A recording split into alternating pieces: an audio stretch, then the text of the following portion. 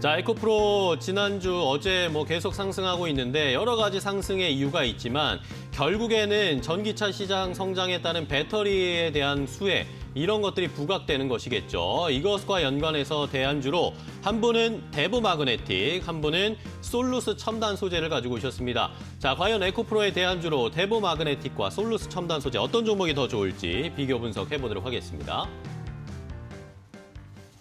자, 두 분이 하나씩 사이좋게 이 전기차 관련, 2차 전지 관련 종목들을 가지고 오셨는데 아무래도 요즘 시청자분들이 아, 2차 전지가 대세니까 나도 뭐 하나를 잡아야 되겠는데 아, 너무 다 올라가니까 잡기가 힘들어 하시는 분들을 위해서 저희가 이 대안주를 좀 잘 설명을 해 드려야 될 것 같습니다. 일단은 김민수 대표님의 대안주부터 볼까요? 네, 어, 소재 쪽이 난립니다. 그러다 보면 자연스럽게 장비 쪽도 눈이 가지 않을까라는 아, 쪽에서 네. 독점적인 기술력을 가진 장비 쪽이 뭐 없나라고 살펴보다 보니까 눈길이 가는 게 대보 마그네틱 같습니다. 네. 마그네틱이다 보니까 어, 어떤 자기장 이용한 뭐 여러 가지 변화가 나오겠죠. 그런 쪽에서 일단 전자석 탈철기 쪽에 주력을 하고 있는 회사인데 어, 양극재 쪽에 들어갔을 때 이제 어, 철이 조금이라도 들어가게 되면 폭발의 위험이 있다고 합니다. 그러다 보니까 이를 어, 철을 제거하는 기술이 상당히 중요한데 어, 이 발화를 방지하는 대표적인 어, 또 장비다라는 쪽으로 해서 계속 부각을 받을 수밖에 없고요. 네. 근데 특히 어, 탈철기 같은 경우는 오히려 습식과 건식 모두 다 있는데 어, 특히 습식 같은 경우는 어, 전자석 탈철기가 이 회사가 유일한 회사입니다. 그런 쪽에서 글로벌 납품처를 계속 확대하고 있는데 지금 현재 삼성 SDI, LG 에너- 에너지 솔루션 모두 들어가고요. 네. 중국의 또 핫한 BYD 어, 그리고 또 에코프로나 코스모 신소재까지 납품을 하고 있다라고 하게 되면 어, 이런 지금 최근에 핫한 회사들한테 어, 들어가고 있다라는 쪽에서 계속 눈길이 가고 있는데요. 하지만 어, 실적 변화가 아직까지 뚜렷하지 못하기 때문에 이 부분에 대한 부담은 살짝 있었는데 어, 최근 들어서 어, 숫자가 조금씩 나오고 있고요. 하반기에 대한 실적 개선이 들어오게 됐을 때 어, 주가는 당연히 반응할 수 있겠다라고 바라보고 있고요. 게다가 또 하나 어, 주가와 관련된 쪽에 수급 관련된 부분들인데 어, 오버행 이슈가 좀 남아있던 부분들, 특히 상장 전에 갖고 있었던 어, PF 쪽의 사모펀드가 이제 주가가 움직일 때마다 조금씩 매도가 나오고 있는데 네. 거의 이제 마무리가 되기 시작하게 되면 이 부분이 수급의 부담도 벗어난다라는 관점 쪽에서 어, 이 부분을 확인하게 되면 어, 계속 레벨업을 시도할 수 있겠다는 쪽에 어, 기술력을 계속 챙겨보자라고 말씀드리고 싶습니다. 네, 좋습니다. 자, 김민수 대표님은 2차 전지 관련 종목들 중에 장비 관련 종목도 좀 살펴보자. 우리가 어, 다른 쪽에 너무 쏠려 있으니까 2차 정비, 2차 전지의 장비 관련 종목으로 김민수 대표님은 대보 마그네틱을 픽해 주셨고요. 자, 그럼 이번에는 길건호 FC의 어, 픽을 보겠습니다. 어떤 종목이죠? 저는 이제 솔루스, 아, 솔루스 첨단, 첨단 소재. 네, 뭐 대부분 알고 계시는데 이제 전기차 소재도 하고 그다음에 뭐 OLED 소재도 하는 기업이다라고 음. 보시면 될 것 같은데 OLED가 앞으로 뭐 좋다라는 건 알고 있으니까 오늘은 이제 전기차 소재에 대해서 얘기를 하고 있으니까 소재 쪽을 얘기를 해본다라고 하면 다른 것보다도 미국의 지금 전기차 시장 자체가 굉장히 빠르게 성장을 하려고 하고 있잖아요. 근데 여기에 이제 기본은 바이든 행정부에서 이제 얼마 전에 또 전자 뭐 서명을 했습니다. 그렇죠. 실질적으로는 뭐 이제 앞으로 2030년까지 판매되는 어 모든 신차의 50%는 절반을. 친환경차로 판매를 하겠다라는 건데 이때 이제 사실 법적 구속력은 없거든요. 그런데 여기에 공동 성명을 어 GM, 포드, 스텔란티스가 다 했어요.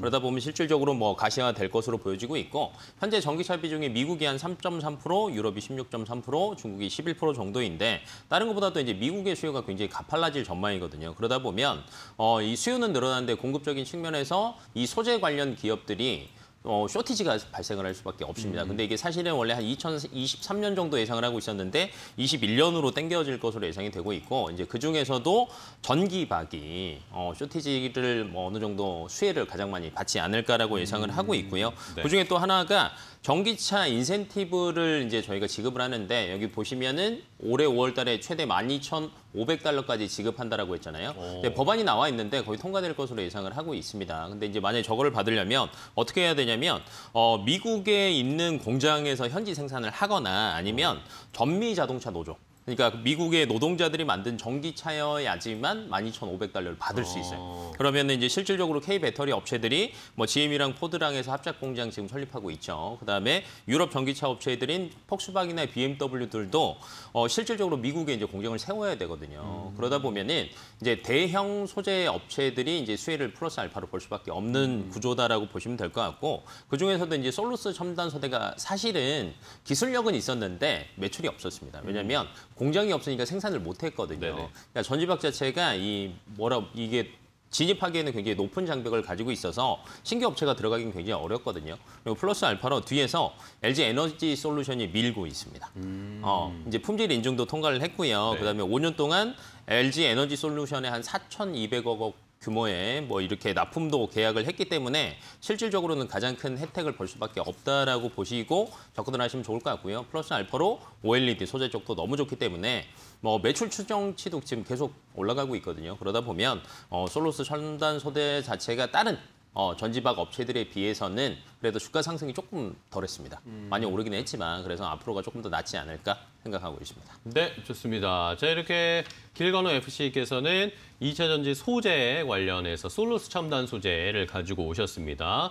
김민수 대표님은 어, 장비 쪽으로 그리고 길건호 FC께서는 소재 쪽으로 가지고 오셨는데 자, 그렇다면은 뭐 가격 전략도 한번 체크를 해 봐야 되겠죠. 일단은 최근에 2차 전지 관련 종목들이 많이 좀 올라오고는 있는데 대보 마그네틱은 그래도 조금 덜 올라왔더라고요. 네. 어 그래서 좀 덜 올랐기 네. 때문에 약간 메리트를 갖고 있는 상황이 아닐까 싶은데, 근데 어 종가가 어제 고가였었습니다. 그러다 보니까 지금 어 주가가 다시 한번 약간 차익 매물 나오는 정도. 그래서 한 3만 7천 원대 밑으로 들어오게 되면 그 부분에서는 한번 이용을 해보자는 쪽에서 살짝 매수가는 좀 낮췄던 어, 흐름이고요. 아, 그럼에도 불구하고 다시 패턴을 만들어 간다라고 하게 되면 적어도 직전 박스권 상단부까지는 충분히 시도하겠다는 관점 쪽에서 네. 일차로 한 4만 2천 원대 어, 목표가로 말씀드릴 수 있을 것 같고요. 손절가는 3만 1천 원대로 말씀드리겠습니다. 네, 좋습니다. 대보 마그네틱 상대적으로 좀 주가가 덜 올라와 있는 2차 전지 장비 종목이기 때문에 어, 가격 전략 한번 잘 참고를 해보시고요. 자, 다음은 길건호 FC께서 소개해 주신 솔루스 첨단 소재인데 솔루스 첨단 소재는 근데 추세적으로 지금 계속 우상향입니다. 계속 우상이고 계속 이제 신고가 돌파하고 있거든요. 근데 실질적으로 아까 전지박을 얘기를 했는데 3분기 매출이 어느 정도 발표가 된다라고 실적 발표가 된다라고 하면 그때가 아마 주가 상승률이 더 높을 것 같아요. 어. 왜 그러냐면 전지박에 관련된 이제 매출 자체가 거의 한 8배에서 9배가 3분기부터 늘어난다고 생각하시면 되시거든요. 네네. 그래서 뭐 이제 뭐 고점이 어디냐라는 거를 정하기는 사실은 어려울 것 같고요. 그냥 1, 2차로 이제 단계별로 뚫고 지나가야 된다라고 보시면 될 것 같고 목표가는 한 7만 5천 원 정도 잡으시고 그다음에 손절가는 한 6만 원 정도 어, 해 두시고 그냥 좀 길게 보시면 좋겠습니다. 네, 좋습니다. 자, 솔루스 첨단 소재, 이 2차 전지 소재, 여기에다가 플러스 OLED 소재까지 함께 모멘텀 봐줄 수 있는 솔루스 첨단 소재의 가격 전략까지 함께 제시를 해드렸습니다.